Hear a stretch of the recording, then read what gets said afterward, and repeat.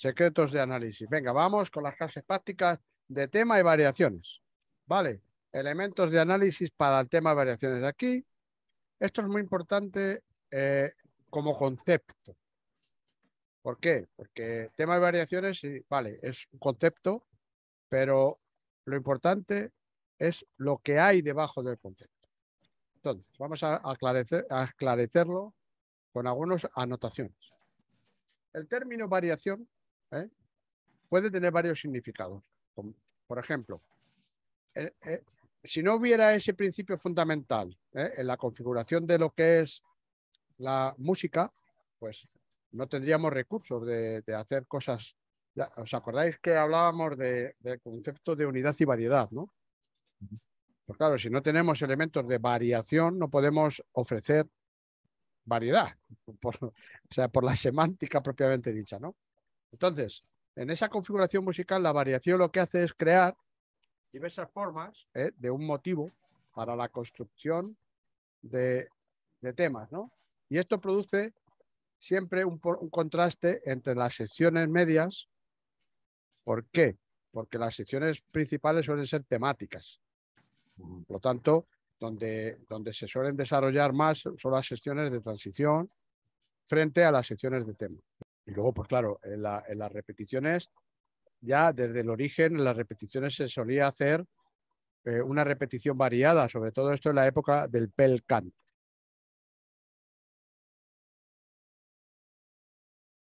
Natural de una pieza, ¿vale?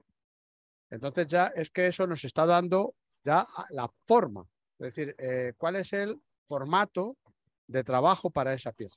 Vamos a ver el, concepto de principio estructural.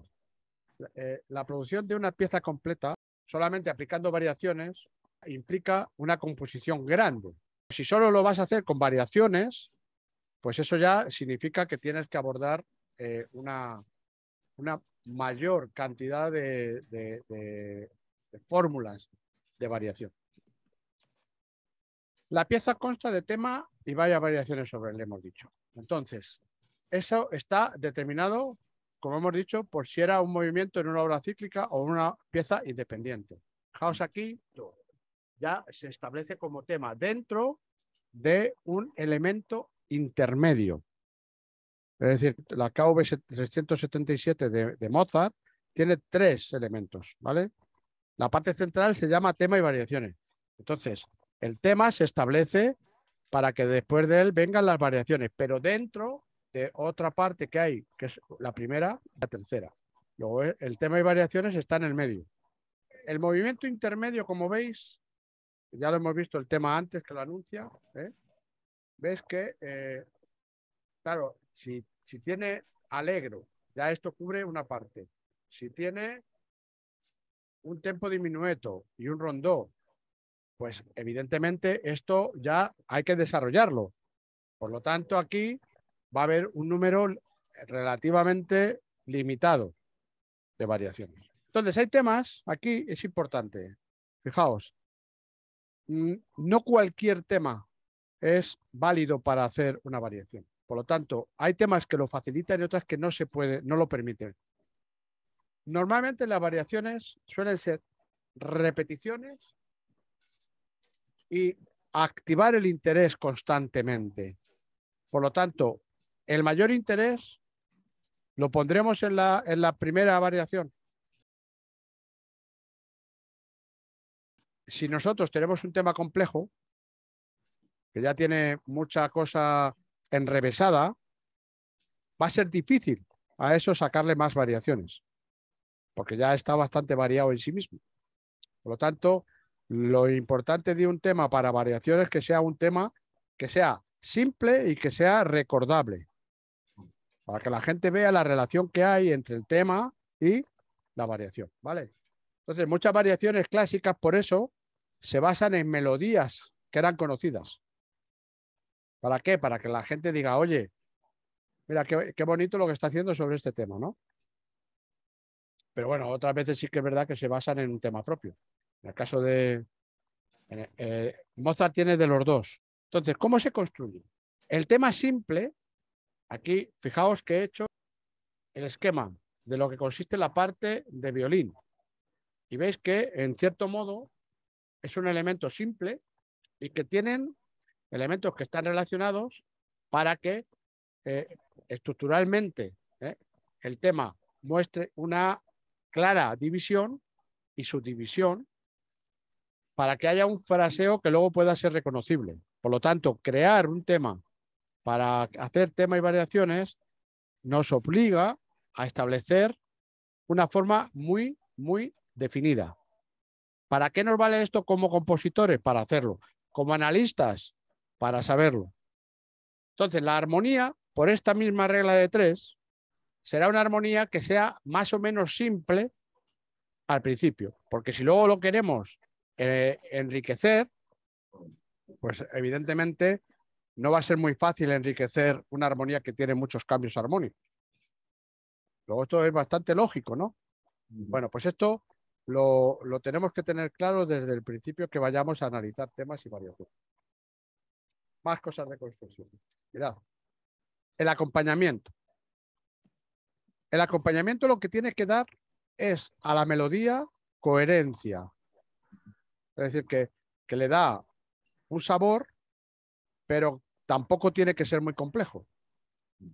Puesto que luego va a ser una de las partes que vamos a poder eh, modificar. Entonces aquí tenemos, vemos que hay el tema que es el sencillo y vemos que hay una armonía que también es bastante sencilla. Más bien es una armonía placada que lleva, ¿veis? ¿Veis que lleva un ritmo armónico muy estable?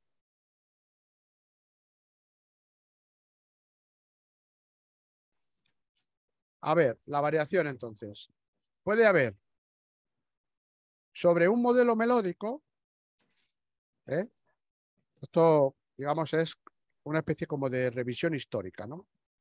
Sobre un modelo melódico, eh, por ejemplo, tenemos la suite de variaciones, el doble francés, es decir, que eh, si, si, hay una melodía y se va variando, pues es lo típico.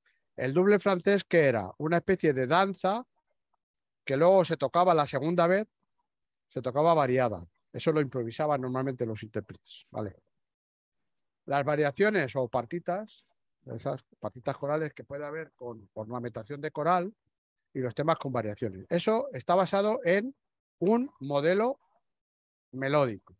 Pero también puede haber elementos que sean variaciones sobre bajos.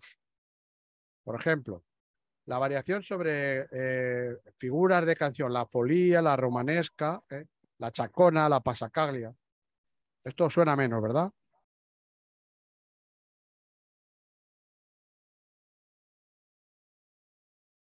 Claro, pero si yo os pongo esto, os suena, ¿verdad? ¿Qué hay ahí? Una, es un elemento de bajo que se repite.